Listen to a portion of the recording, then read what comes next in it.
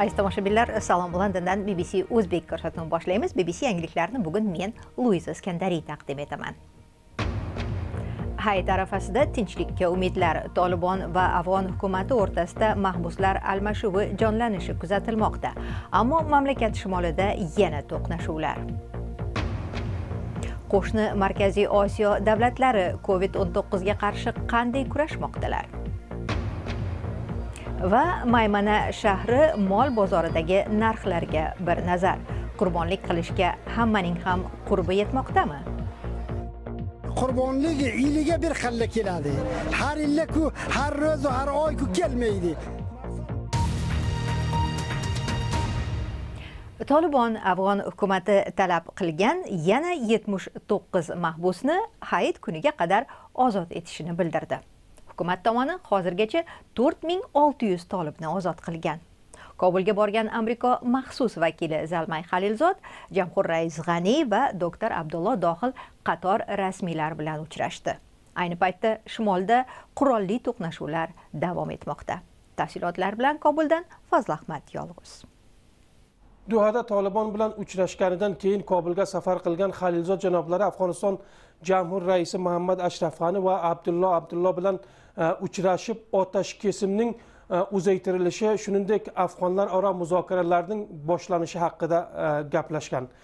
Ikki tomon orasidagi uchrashuv tafsilotlari hozirga qadar ochiqlanmagan lekin halilzod janoblari otashkesin va afg'onlar aro muzokaralar bo'yicha tolibon bilan e, suhbat olib borishini afg'on e, rahbarlariga va'da bergan. Milliy yarashuv kengashiga ko'ra muzokaralarning dastlabki bosqichi e, qayerda bo'lib o'tishi borasida ham kelishilgan. O'tgan kuni afg'oniston jamhur raisi tolibon talab qilgan qolgan ma'buslarni qo'yib yuborishga ishora qilgandi. Ayni damda tolibon so'zchisi bugun bag'lon lo'gar va hirot viloyatlarida yetmish to'qqiz ma'busning e, qo'yib yuborilishini e'lon qilgan. Unga ko'ra e, bu guruh bundan oldin to'qqiz yuz yigirma bir ma'busni ozod etgan. Shu bilan tolibon tomonidan ozod etish jarayoni mukammal bo'ladi deb aytgan albatta tolibon tomoni. Tolibon rahbari hayit munosabatiga uch kunlik otashkesin e'lon qilib muzokaralarga tusiq bo'layotgan omillarni olib tashlashi kerakligini talab qildi. Lekin arafa kunida afg'onistonning qator viloyatlari turli hujumlarga guvoh bo'lgan. Jumladan bag'lon viloyatida yuz bergan to'qnashuvlarda tolibon tomonidan kamida sakkiz jangari o'lgani aytilmoqda. Hamda e, to'qnashuvlar e, jarayonida o'zbekistondan e, kobulga tortilgan barq poyalari xisora ko'rib barq ham kobulga kelayotgan barq jarayoni ham kesilib qoldi. Toliblar bilan hukumat orasida tez orada muzokaralar boshlanishidan umidingiz qanday va natijasi qanday bo'ladi deb o'ylaysiz. Bu borada biz bilan bbc o'zbek afg'oniston youtube kanali orqali bog'lanishingiz mumkin. Amerikada covid 19 virusining tarqashini nazorat ostiga olishga harakatlar davom etar ekan qator ayolatlarda kasalxonalarga bemorlar oqimi ko'paygan. Bbc xabarnigori hyuston shahridagi kasalxonaning jiddiy muroqabat bo'limiga borib u yerda insonlarni saqlab qolish uchun qo'llanayotgan yangi usullarni o'rgangan. Doktor jozef varan jiddiy muroqabat bo'limi rahbari. Ko'plab kasalxonalar covid 19 bemorlariga to'lib ketgan. Bu yerni faqatgina covid 19 bemorlari uchun yangi tashkil etdilar ammo bir necha hafta mobaynida bu yer ham to'lib ketdi.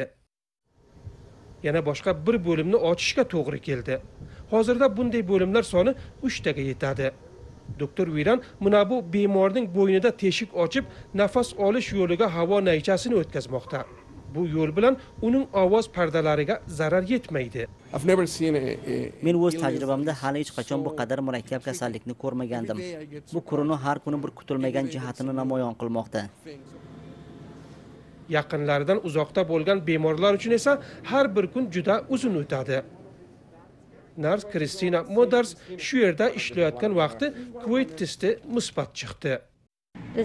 Bu yer men uchun uyimdek gap. Uyingdan va oilangdan uzoq bo'lish mushkul. Kasal bo'lgan vaqtimda ham qanday yordamim tegishi mumkinligi haqida so'rab turdim doktor viran va uning hamkasblari sun'iy nafas oldirish uskunasidan iloji boricha foydalanmaslikka harakat qiladilar. Ular turli dorilarning qorishmasi bilan davolashga harakat qilmoqdalar.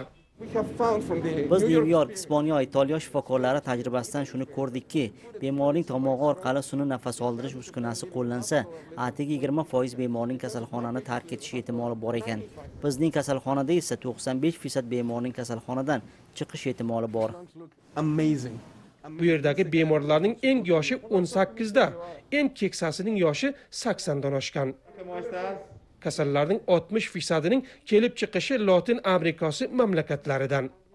Haydovchi infirin gvira yaqinda uyiga ketadi lekin tez orada ishga qaytishga shoshmayapti. Uning bizga aytishicha koronavirus jiddiy xavf. Kim uni jiddiy qabul qilmasa o'limga yuz tutadi. Covid 19 bilan bog'liq vaziyat afg'onistonga qo'shni markaziy osiyo davlatlarida ham jiddiy tus olgan. Qirg'iziston bugun koronavirus tufayli vafot etgan vatandoshlariga motam tutmoqda. Mamlakatda virusdan o'lganlar soni 1300 dan oshdi. Qozog'istonda esa virusni yuqtirganlar 90 mingga yaqinlashib qolgan. Turkmaniston hamon o'zini virusdan xoli mamlakat ekanligini ta'kidlamoqda. Gulsevar zamon vaziyatni o'rgangan. Qo'shni qirg'iziston virus bilan bog'liq inqiroz ichida qoldi. O'likxonalar mayitlarga to'lgani xabar qilindi. Yaqinlarining mayitini olish uchun odamlar navbatga tizilgan У меня э, брат умер. Мы не можем вывести его труп. akam vafot etdi jasadini olib ketamiz desak bizga berishmayapti Нам это не выдают его труп. og'ir bemorlarga qarash uchun shifokorlar yetmayotgani aytiladi tibbiy jihozlar taqchilligi ham yaqqol ko'ringan test uchun navbatlar uzun kasalxonalar to'lgan bbc qirg'iz xizmatidan niyoz tashmatov bugunda hukumat ahvolni o'nglashga qaratilgan choralarni kuchaytirganini aytadi. Qirg'izistonda koronavirus yuqtirganlarni soni bugungi kunga kelib o'ttiz uch mingdan oshdi. Qazo bo'lganlarning soni bir ming uch yuzdan oshdi. Hukumat bugungi kunda ham turli choralarni kirgizib odamlarni E, ehtiyot choralarini ko'rishga chaqiryapti. O'sh va bishkek shaharlarida shifoxona qurishni ishlari boshladi. Yaqindagina rossiya federatsiyasidan e, vrachlar keldi. E, ular o'sh va bishkek shaharlariga jo'nab ketishdi. Mediklarga yordam berish uchun. Qozog'istondan deb tarqalgan mana bu videoda ham jasadlar qalashib yotgan xona aks etgan. Ammo bu videoni mustaqil manbalardan tasdiqlashning iloji yo'q. Qozog'istonda covid 19 ga chalinganlar soni rasman 80 mingdan oshgan. 500 dan ortiq kishi hayotdan ko'z yumgan. Tahlilchi safarbay jubayevga ko'ra hozirda vaziyat biroz barqarorlashgandek. Qozog'istondagi e, pandemiya va karantin vaziyati bugungi kunda bir barqarorlashtirildi desak bo'ladi. Boshlagan vaqtida tibbiyot tizimi biroz qiynaldi.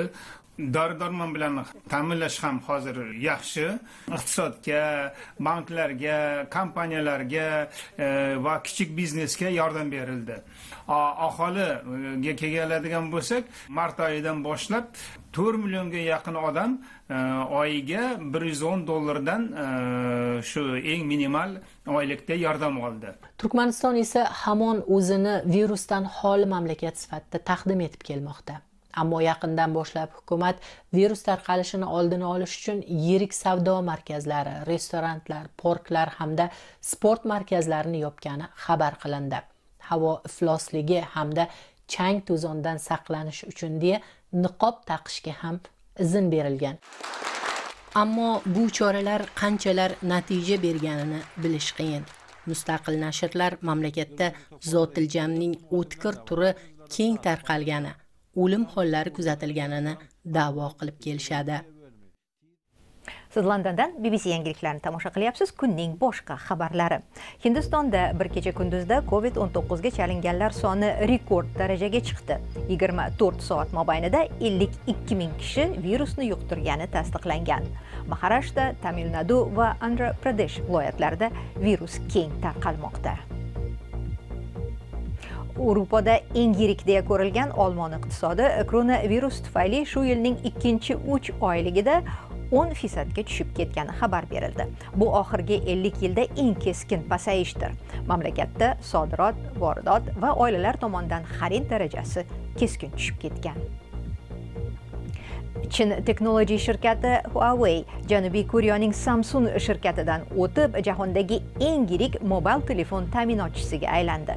Ma'lumotlarga ko'ra shu yilning ikkinchi uch oyligida huawei samsungga nisbatan 5 millionga ko'proq mobil telefon sotgan. Qurbon hayitida aksar musulmonlar tabiiyki qurbonlik keltirishga harakat qiladilar. Buning natijasida mol bozorida hayit arafasida narxlar oshishi doim kuzatilgan holat. Ammo afg'oniston shimolida xususan maymana mol bozorida bu yil narxlar odatdagidan anchayin ko'proq oshgani aytilmoqda. Mol bozoridagi narxlarga shafiy bek o'g'li nazar tashlaydi. Qurbon hayiti arafasida maymana qoramol bozori har qachongidan ham gavjum. Katta kichik mollarni sotuvchilar ham ko'p xaridorlar ham. Bu qancha ekanlar? Xaridorning e'tiborini jalb etish uchun mollarni feshan qilganlarini ham uchratasiz. Avvallari yirik qora mollarni asosan qassob va jalloblar olishardi. Oxirgi vaqtlarda aholi o'zlari xarid qilib qurbonlik qilayotganlarini kuzatish mumkin keldik birodar keldik masalan o'ttiz ming qirq ming ellik ming inek bor ekan? Mol bor ekan o'n ming sakkiz ming rupa qo'y bor ekan. Shu pullargancha bir inek olibman bozor buni qimmatini munosib qilib oling rozi qiling egasini. Bir ikki nafar man sharik bo'lib olibman yigirma besh ming movangina arzongina kichkinagina olibman o'tgan yillarda qurbon hayitiga oz muddat qolganda chorvalar narxi biroz qimmatlashardi. Ammo bu yil narxlar ikki barobarga hatto undan ham ko'proq ko'tarilgan.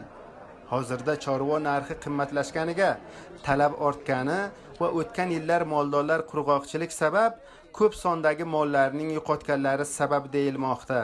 Biltir xushkorlik keldik tamom qo'y mol ushaqlar xorij nimalarga ketdi kobulni masalan viloyatlarga. Bu yil kamchiroq maydonlar bo'libdi mol semiz. Qo'mardim qimmat olibdi arzon sotmaydi inoqa e mana shunda gaplar bor inoqa qassob bechoralar ham oladi do'daylab mazasi yo'q qassoblarni ham besh olti oydan beri mazasi yo'q. Bozor vaziyatidan moldor va jallob qisman xursand. Ammo ko'pchilik qurbonlik qiladiganlar rozi emas. Lekin shunga qaramay ayrimlar narx qimmat bo'lsa ham musulmonlar qurbonlik qilishi shart deyishadi. Mol fazli xudo ilohi shukur qimmatroq ekan. Agar qimmat bo'lsa mardum zaruriyatini oladi. Majburdiki qurbonlik yiliga bir xilla keladi. Har yilla har ro'zu har oyku kelmaydi. Maqsad muroat bo'lsaku yaxshidu. Bo'lmasa ham mardum qurbiga qarab lohmuhol nomid qilmaydi o'zini. Islomda qudrati yetganlar qurbonlik qilishlari farz ko'riladi. Ammo qudrati yetmagan qatlam ham bu ishni bajarishdan qolishmaslikka harakat qiladi. O'zi ishsiz va o'g'li arava surish bilan qiynalib ro'zgori o'tayotgan bir shaxs mol olgani bozorga kelgan. Ammo narxlar qimmatligi uni bu qarordan voz kechishga majbur qilgan. Yanga bir qo'ydi o'n besh ming dedi o'rga topolmadik bu yerga keldi anday qo'zini to'rt ming. Anday qo'zini ayta u qurbonlik bo'lmaydi. Bizani ilojimiz eshitmaydi aralabdi boqib bir vaqtki zamondan qolibdi. Xudovonni amri farzi kelgan bizlarni musulmonlarni ustiga. Bizlar shu qurbonlikni ololmadik endi bilmayman qanday qilsak olgida sotgida zotibizmi yo'qdi. Qurbon hayit kunlarida afg'onistonda qurbonlik qilolmagan ko'plab oilalarga qurbonlik qilganlar va xayriya tashkilotlari qurbonlik go'shti tarqatadilar. Ammo shu bilan birga boshqalarning qo'liga qarab qolmaslik uchun qarz ko'tarib qurbonlik qilayotgan oilalar ham kam emas. Shafiy o'g'li bbc kobul.